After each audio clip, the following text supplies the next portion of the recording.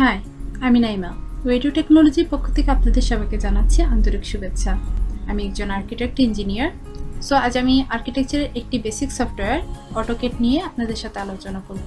আমি ট্রাই করব অটোকেটের একদম বেসিক লেভেল থেকে শুরু করে অ্যাডভান্স লেভেল পর্যন্ত প্রত্যেকটা বিষয়গুলোকে ক্যাপচার করার জন্য। আপনারা যারা অটোকেট সম্পর্কে জানেন না, কিন্তু চাচ্ছেন অটোকেট শিখতে কিছু প্রপার গাইডলাইনের কারণে হয়তো শিখতে পারছেন না, তারা আমার এই ভিডিও থেকে অবশ্যই উপকৃত হবেন।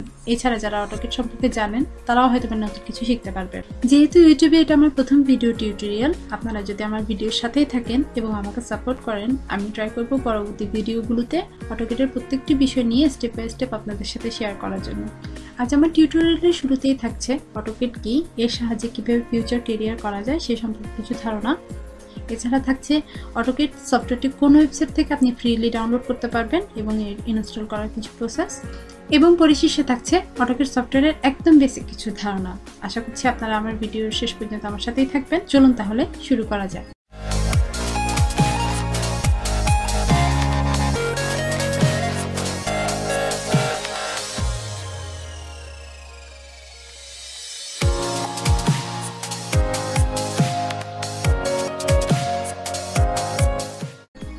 অটোকেট হচ্ছে এমন একটি সফটওয়্যার যার মাধ্যমে বিভিন্ন ইঞ্জিনিয়ারিং ড্রয়িংগুলো করা হয়ে থাকে। এছাড়া যারা ইন্টেরিয়র ডিজাইনার আছেন বা স্ট্রাকচারাল মডেল তৈরি করেন, তারাও কিন্তু অটোকেট সফটওয়্যারটি ব্যবহার করে থাকেন। তবে ইঞ্জিনিয়ার না হলেই যে আপনি অটোকেট সফটওয়্যার নিয়ে কাজ করতে পারবেন না, তা কিন্তু কখনোই না। আপনি যদি জ্যান লাইনে পড়াশোনা করে থাকেন, তাহলেও কিন্তু আপনি অটোকেট সফটওয়্যারটি নিয়ে কাজ করতে পারেন এবং অটোকেট সফটওয়্যার শিখে ক্যাড অপারেটার হিসেবে টেকনিক্যাল সেক্টরে নিজের ক্যারিয়ারটিকে বিল্ড আপ করতে পারেন। বড় বড় রিয়েল এস্টেট কোম্পানি বা ডেভেলপার কোম্পানিগুলো আছেন, যাদের ক্যাডের কাজগুলো ক্যাড অপারেটর বা একজন ডিপ্লোমা আর্কিটেক্ট করেন। বিসি ইঞ্জিনিয়ার কিন্তু কখনোই ক্যাডের কাজগুলো করে না। তিনি শুধু আপনাকে দেখিয়ে দিবে যে কী ধরনের চাহিদা হতে পারে, কী ধরনের নকশা তিনি চাচ্ছেন। সেগুলো আপনাকে বুঝিয়ে দিবে আর সে অনুযায়ী কাজ করবে একজন ক্যাড অপারেটর এবং ডিপ্লোমা আর্কিটেক্ট। তাহলে বুঝতেই পারছেন, যদি টেকনিক্যাল সেক্টরে নিজের ক্যারিয়ারটাকে বিল্ড আপ করতে চান, এই ক্ষেত্রে ক্যাড অপারেটর হিসেবে আপনার অনেক বড় একটি অপরচুনিটি আছে। এছাড়াও যারা ফ্রিল্যান্সিং পেশায় যুক্ত আছেন বা ফ্রিল্যান্সার হিসেবে কাজ করতে চাচ্ছেন, তাদেরও কিন্তু ভালো একটা অপরচুনিটি আছে অটোকেটের কাজ শিখে টু ডি বা থ্রি ডি বা ইন্টেরিয়র ডিজাইন নিয়ে কাজ করার। দেখুন, এখানে আসলে হিউজ পরিমাণের সুযোগ আছে আর্কিটেকচার সাবজেক্ট নিয়ে বা অটোকেট সাবজেক্ট নিয়ে কাজ করার। আশা করছি আমি আপনাদেরকে অটোকেট সম্পর্কে এবং এর সম্পর্কে কিছুটা হলেও ধারণা দিতে পেরেছি। চলুন তাহলে অটোকেটের পরবর্তী ধাপ মানে এটা কীভাবে ডাউনলোড করবেন, কোন ওয়েবসাইট থেকে ডাউনলোড করবেন এবং এটার ইনস্টলেশনের প্রসেসটা দেখে নিন। অটোকেট সফটওয়্যারটা ডাউনলোড করার জন্য আপনি ফার্স্টে দুটো প্রসেস মেনটেন করতে হবে। প্রথমত একটা সফটওয়্যার আপনাদেরকে ডাউনলোড করতে হবে ইনস্টল করতে হবে ডাউনলোড করে। সেটা হচ্ছে যে বিটরেন অথবা ইউটরেন দুটি সাইডই কিন্তু একই কাজ। আপনি চাইলে যে কোনো সাইট ডাউনলোড করতেই পারেন। ইউটার্নটার কাজ আমরা অনেকেই হয়তো বা শুনেছি যে ইউটার্নটা আমরা হয়তো বা অনেকেই হলিউড মুভি দেখি বা এই কাজে ব্যবহার করা হয়। কিন্তু অনেকেই হয়তো বা জানে না যে কি সফটওয়্যার ডাউনলোড করার জন্য টরেন্ট আমাদের কতটা জনপ্রিয় সাইট এটা তেমন কিছু করতে হবে না জাস্ট টরেন্টেতে এখানে গিয়ে বিট টরেন্ট এখানে গিয়ে জাস্ট সিঙ্গেল ক্লিক করে ডাউনলোড অপশনে যাবেন। ফ্রি ডাউনলোডে ক্লিক করবেন। বিট টরেন্ট সফটওয়্যারটি ডাউনলোড করে ইনস্টল করার পরে এ ধরনের একটি খালি ব্ল্যাঙ্ক পেজ আসবে। আপনি চাইলে এটা মিনিমাইজ করে রাখতে পারেন অথবা ক্লোজ করেও দিতে পারেন। টরেন্টের মাধ্যমে সফটওয়্যার ডাউনলোড করার জন্য কিছু জনপ্রিয় ওয়েবসাইট আছে। তার মধ্যে একটি হচ্ছে যে দ্য প্যারটস পে আর অন্যটি হচ্ছে যে Kickass torrent the pirate bay ওয়েবসাইটের একটি সুবিধা হচ্ছে, এখানে কোনো প্রকার ট্রায়াল ভার্সন থাকে না, প্রত্যেকটা সফটওয়্যারের ফুল ভার্সন থাকে। আপনাদেরকে একটা কাজ করতে হবে, সেটা হচ্ছে সার্চ অপশানে গিয়ে আপনি যে সফটওয়্যারটা খুঁজছেন, সেটার নাম লিখতে হবে। আমি অটোকেট খুঁজছি, তাই অটোকেট লিখলাম। তবে একটা জিনিস খেয়াল রাখতে হবে, আপনি যে সফটওয়্যারটি লিখেন না কেন, বা যে সফটওয়্যারটি আপনি সার্চ দেন না কেন, সেই সফটওয়্যারের নামের বাড়ানো যাতে কোনো প্রকার ভুল না হয়। যদি ভুল হয় তখন মানে কোনো রেজাল্ট আসলে দেখানো হবে না। আমি জাস্ট এন্টার দিলাম। দেখেন, এখানে অনেকগুলো ভার্সন আসছে অটোকেটের এখানে সেভেন্টিন আছে এইটিন আছে সিক্সটি আছে। আপনি এখান থেকে আপনার যে ভার্সনটা আপনার দরকার হবে, আপনি ওটা ডাউনলোড করে নিতে পারেন। সফটওয়্যার ডাউনলোডের ক্ষেত্রে শুধু দুটো জিনিস আপনাদের একটু বেশি মনে রাখতে হবে। এক হচ্ছে যে আপনারা কিসের জন্য আসলে এটা ব্যবহার করছেন? সফটওয়্যারটা কিসের জন্য ইনস্টল করতে চাচ্ছেন? আপনার কি উইন্ডোজের জন্য ইনস্টল করতে চাচ্ছেন না মেকের জন্য? আর দ্বিতীয়টা হচ্ছে যে এটা সিট কত? আপনি যে সফটওয়্যারটা নিচ্ছেন, সেটা সিট কত? একটা সফটওয়্যার সিট যত বেশি হবে সফটওয়্যারটি তত দ্রুত বেশি কাজ করবে এবং সেটা সবাই আসলে ডাউনলোড করে থাকে। তো সেক্ষেত্রে আপনারা সিট যত বেশি থাকবে, তত সফটওয়্যারটি দ্রুত কাজ আমি এখানে সেভেন্টিন ভার্সনটা ডাউনলোড করব। আমি সেভেন্টিন ভার্সনে ক্লিক করলাম। আপনাদের যদি বিটরেন্টটা বা ইউটরেন্টটা ডাউনলোড থাকে, তাহলে আপনারা জাস্ট গেট দিস টরেন্ট এখানে ক্লিক করবেন। এখানে আপনারাতে যে সফটওয়্যারটা আপনি ডাউনলোড করেছেন ইউটরেন্ট অথবা বিটরেন্ট সেটা চুজ করবেন। ওপেন লিঙ্ক সিম্পল ক্লিক এখানে আমি আগেই সেভেন্টিন ভার্সনটা ডাউনলোড করে রেখেছি, সেজন্য এখানে এভাবে আসছে। আমি সফটওয়্যারটা আগেই ডাউনলোড করেছি। আমি জাস্ট ওপেন করব। এই যে এখানে। আপনি যে ভার্সনটা আসলে ইউজ করতে চাচ্ছেন, আপনি চাইলে সিক্সটি বিটে ইউজ করতে পারবেন, আপনি থার্টি টু বিটে ইউজ করতে পারবেন। আমি সিক্সটি ফোর বিটে ইউজ করতে চাচ্ছি। ওপেন এখানে আপনি দেখাই দিতে পারেন যে আপনি কোন কোন ড্রাইভে আপনি আসলে সফটওয়্যারটা রাখতে চাচ্ছেন এক্সট্রেট করতে চাচ্ছেন। আমি এখানে সি ড্রাইভে না, আমি অন্য কোনো ড্রাইভে রাখতে চাচ্ছি। আমি এখানে ড্রাইভটা দেখাই দিই। দেন ওকে এখানে ওকে ইনস্টল হচ্ছে। আমার এখানে ফাইল এক্সটেন্ড হয়ে গিয়েছে। আমি জাস্ট ক্লিক এখানে সেট আপ অপশনে ক্লিক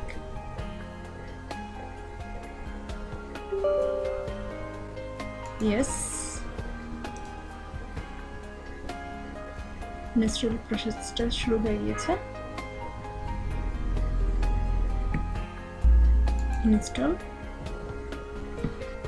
অ্যাকসেপ্ট আপনারা চাইলে এখানে লাইসেন্সটা করতে পারেন। আমি প্রয়োজন মনে করছি না, সেজন্য আমি অ্যাকসেপ্ট দিলাম। দেন নেক্সট আচ্ছা এখানে একটা জিনিস সবসময় খেয়াল রাখতে হবে, আপনাদের এই জিনিসগুলো যদি দরকার হয়, এই সফটওয়্যারগুলো যদি দরকার হয়, তাহলে আপনারা সফটওয়্যারগুলো ইনস্টল করতে পারেন, কিন্তু আমার দরকার নাই, সেজন্য আমি ইনস্টল করছি না। দেন নেক্সট আরেকটা হচ্ছে যে আপনারা কোন ড্রাইভে আসলে রাখতে চাচ্ছেন? এটাকে আপনারা সি ড্রাইভে রাখতে চাচ্ছেন না? অন্য কোনো ড্রাইভে আমি সি ড্রাইভটা আসলে প্রেফার করি, সেজন্য আমি সি ড্রাইভে রাখব। দেন ইনস্টল সফটওয়্যারটি ইনস্টল হয়ে গিয়েছে। ফিনিশ বাটনে ক্লিক সফটওয়্যারটি ওপেন করতে হবে। এখানে এন্টার সিরিয়াল নাম্বারে প্রেস এখানে সিরিয়াল নাম্বারটা লিখতে হবে। সিরিয়াল নাম্বারটা এখানে পাওয়া যাবে। ক্র্যাক ফাইলে ইনস্ট্রুমেন্ট এই যে, এখানে যে সিরিয়াল নাম্বারগুলো আছে এখান থেকে যে কোনো একটি দিলেই হবে। আমি এটা দিচ্ছি। কন্ট্রোল সি কন্ট্রোল ভি করতে হবে। কন্ট্রোল সি কন্ট্রোল ভি এরপর এই যে, এখানে একটা প্রোডাক্ট কি আছে। এই প্রোডাক্ট কিটা কপি করতে হবে কন্ট্রোল সি দিয়ে। আর এখানে কন্ট্রোল ডি দেন নেক্সট আমার সফটওয়্যারটি আগে রেজিস্ট্রেশন করা আছে, সেজন্য নতুন করে রেজিস্ট্রেশন নিচ্ছে না। তারপর আমি আপনাদেরকে দেখিয়ে দিচ্ছি কীভাবে করতে হবে। এখানে যখন আপনারা সিরিয়াল কি এবং প্রোডাক্ট কিটা দিবেন দেন নেক্সটে ক্লিক নেক্সটে ক্লিক করার পরে আপনাদেরকে একটি রিকোয়েস্ট কোড দেওয়া হবে। রিকোয়েস্ট কোডটা কন্ট্রোল সি প্রেস করে কপি করতে হবে। দেন ফাইলে গিয়ে এই অ্যাপসটা ওপেন করতে হবে। এই অ্যাপসটা ওপেন করার ক্ষেত্রে একটা জিনিস একটু মনে রাখতে হবে। এই অ্যাপসটা কখনোই সরাসরি ওপেন করবেন না। এটা ওপেন করার জন্য রাইট বাটন ক্লিক করে রান এস অ্যাডমিনিস্ট্রেটর এখানে ক্লিক করতে হবে। ইয়েস হ্যাঁ এবার এটা অল সিলেক্ট এবং যে প্রোডাক্ট কোডটা আপনি কপি করেছেন, সেই প্রোডাক্ট কোডটা এখানে পেস্ট করতে হবে। পেস্ট করা হয়ে গেলে এখানে পিচ অপশনটাতে আপনাকে ক্লিক করতে হবে। যখন পিচ অপশন ক্লিক করবেন, তখন এখানে পিচ সাকসেসফুলি দেখানো হবে। আসলে আমার এখানে কোনো প্রকার প্রোডাক্ট কি মানে রিকোয়েস্ট কি দেওয়া হয়নি, সেজন্য কিছুই দেখাচ্ছে না। আর আপনাদের এখানে যখন আপনারা যখন পিচ হয়ে যাবে, তখন এখানে একটা কোড দেখা যাবে। অ্যাক্টিভেশন কোড এটাকে জেনারেট করতে হবে আপনার অ্যাক্টিভেশন কোডটা কন্ট্রোল সি দিয়ে কপি করতে হবে। যখনই আপনারা অ্যাক্টিভেশন কোডটা কপি করবেন, এই জায়গাতে এসে আপনারা অ্যাক্টিভেশন কোডটা কন্ট্রোল জি প্রেস করে পেস্ট করবেন এবং এই অপশনটাতে ক্লিক করে রাখবেন। দেন নেক্সট নেক্সট হয়ে গেলে আপনাদেরকে দেখাবে আপনাদের সফটওয়্যারটি সাকসেসফুলি ইনস্টল হয়ে গেছে। অটোক্যাড সফটওয়্যারটি ওপেন হওয়ার পরে ফ্রন্ট পেজটা এভাবেই আসবে। আপনাদের যদি কোনো পূর্বের ডকুমেন্ট থেকে থাকে, তাহলে আপনারা ওপেন ফাইলে ক্লিক করবেন। অথবা যদি ডকুমেন্ট থেকে না থাকে, তাহলে এখানে ক্লিক নিউ জাস্ট এটা অটোকেট ডট ডিডব্লিউটি ওপেন একটা নিউ ডকুমেন্ট পেজ ওপেন হয়েছে। আপনারা যদি এই গ্রিডগুলো দেখতে না চান এগুলো যদি একদম ব্ল্যাঙ্ক পেজ চান, তাহলে জাস্ট এখানে সিঙ্গেল একটা ক্লিক গ্রিডটা অফ হয়ে যাবে। এরপরে এই পেজটা যখন ওপেন হয়েছে পেজ সেট অবশ্যই দরকার আছে। পেজ সেট আপের জন্য আপনারা ফর্মেটসে যাবেন। ফর্মেটস থেকে ইউনিটস ইউনিটসে গিয়ে এখানে ডেসিমালের জায়গায় আর্কিটেকচার এবং এখানে জিরো জিরো প্রিসিশন তারপরে এখানে ডিগ্রি মিনিট পার সেকেন্ড এখানেও জিরো আর এখানে যদি ইঞ্চিস দেওয়া না থাকে, তাহলে ইঞ্চিস দিয়ে রাখবেন।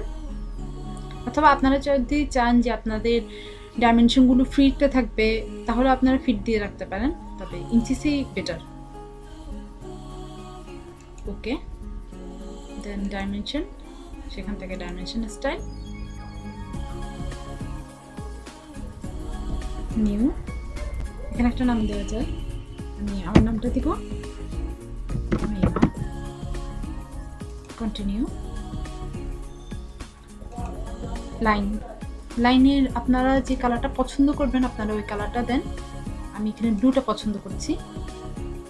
লাইন টেপস বাই লেয়ার এখানে লাইন হাইট যেহেতু ডাইমেনশনের জন্য হবে, আপনারা চাইলে এটা দিতে পারেন। তবে এটা হচ্ছে যে সম্পূর্ণ আপনার উপর নির্ভর। আপনারা কতটুকু মিলিমিটারের ডাইমেনশনের কতটুকু আসলে সাইজটা চাচ্ছেন লাইনের সেটার উপরে নির্ভর করবে।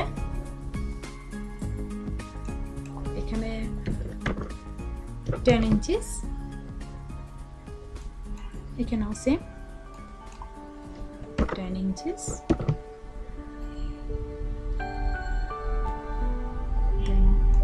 symbol. এখানে অবলিক এটাও কিন্তু, এই সেটিংসটাও কিন্তু আপনাদের উপরে একদম নির্ভরশীল। মানে আপনারা যদি চান যে কি আপনারা অবলিক দিবেন না, আপনারা ক্লোজ অ্যান্ড ফিল দিবেন, তাহলেও কিন্তু হবে। এটা আসলে কোনো বাধ্যবাধকতা নাই যে আপনাকে অবলিকে দিতে হবে।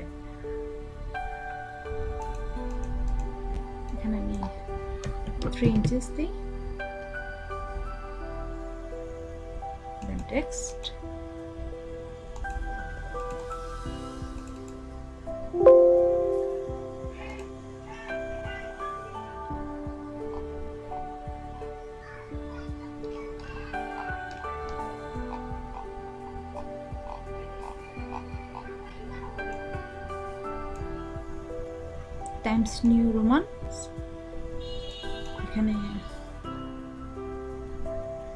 six inches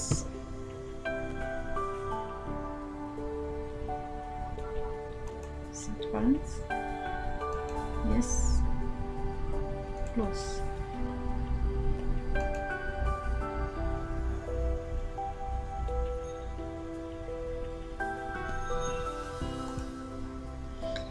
এখানে কি একটা জিনিস আপনাদের অবশ্যই খেয়াল রাখতে হবে। আপনারা যেটা ফর্মেস থেকে ইউনিটসে যে সেটিংসটা করেছেন এখানেও সেম সেটিংসটাই হবে। চেঞ্জ করা যাবে না।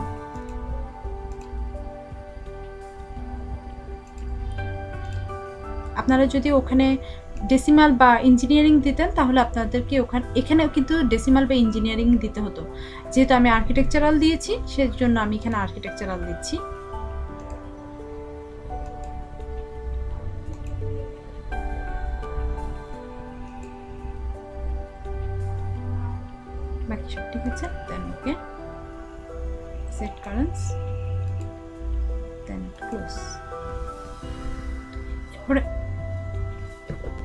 এরপর আবার ফরম্যাটসে সেখান থেকে ড্রয়িং লিমিটস এখানে hundred hundred feet comma hundred fifty feet enter যে কোনো একটা কর্নারে ক্লিক তারপর জেড এন্টার এ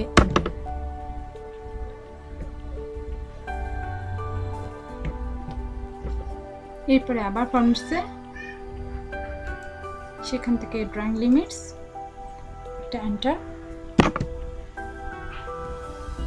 এরপর hundred feet comma hundred sorry two hundred fifty feet enter Z enter, a, enter. পেজটি সেট হয়ে গেছে। এরপরে আরও কিছু সেটিংস আছে, সেগুলোর জন্য ওপি যেটা options OP enter OP enter এটা ওপি এন্টারও লেখা যায়, অথবা আপনারা যদি সরাসরি চাচ্ছেন, তাহলে রাইট বাটন ক্লিক দেন এখানে OP enter sorry right button click option center file display এখানে ডার্কও দেওয়া যায় অথবা লাইটও দেওয়া যায়। ডার্ক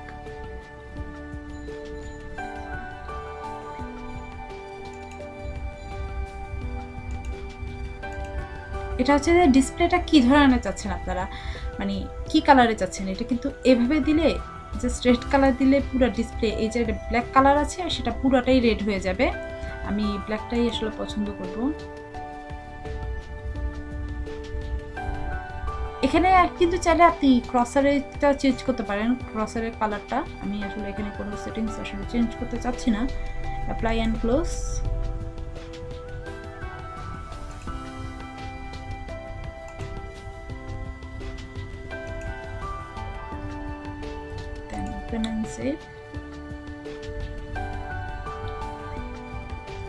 ঠিক আছে।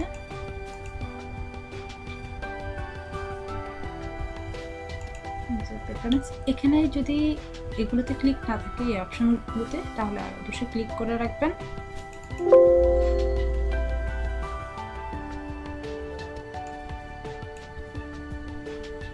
এটাতে রিপিট লাস্ট কমেন্টস দিবেন।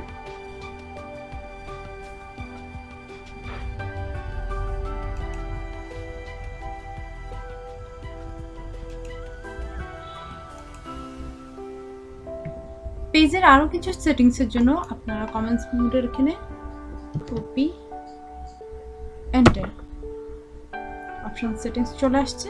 এভাবে যদি আপনারা দিতে না চান, আপনারা যদি চান যে আপনারা মাউস ক্লিক করবেন দেন টুলস থেকে অপশনস এখানে কিছু সেটিংস করতে হবে। আমরা সেকশনে একটু দেখি। এগুলো আনচেক আছে কিনা মানে আনক্লিক আছে কিনা একটু দেখে রাখবেন। যদি এইভাবে ক্লিক থাকে, লেসোতে যদি ক্লিক থাকে, এটা আনক্লিক করে দেবেন। আর এখানে কিছু ডিসপ্লে সেটিংস আছে এগুলো আপনার নিজেদের মতো সেটিংস করবেন। আর যদি না পারেন, তাহলে আমার সাথে শেয়ার করবেন। আর এখানে একটা জিনিস একটু খেয়াল রাখতে হবে, এটা দুটোটাই ক্লিক থাকবে। যদি ক্লিক থাকে, তাহলে আপনারা রাইট বাটন ক্লিক করবেন। এখানে যদি শর্টকাট মেনু থাকে, সেটা চেক করে রিপিট লাস্ট কমান্ড দিবেন, আর এখানেও রিপিট লাস্ট কমান্ড আর এখানে হচ্ছে enter then apply and go apply okay তারপরে আরেকটা সেটিংস আছে ডিএস এন্টার মানে হচ্ছে ড্রাফটিং সেটিং এন্টার এটার জন্য, এটাতে অবজেক্ট স্ন্যাপস এখানে চাইলে আপনি সবগুলোকে ক্লিক করে রাখতে পারেন, অথবা আপনি যদি চান যে কি আপনি নির্দিষ্ট কিছু ক্লিক করবেন, যেমন আমার এটা লাগবে মিড পয়েন্টটা সেন্টার লাগবে।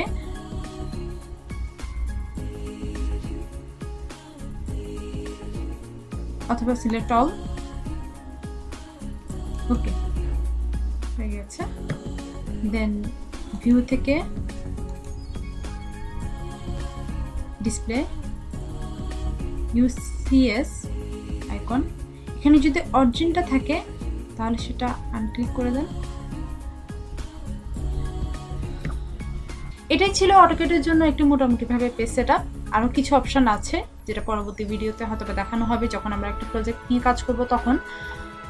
আর আমরা নেক্সট টাইমে হয়তো একটা প্রজেক্ট নিয়ে কাজ করব এবং এই যে বেসিক টুলস অটোকেটার আসলে কিছু বেসিক টুলস যেগুলো, সেগুলো নিয়ে আলোচনা করব।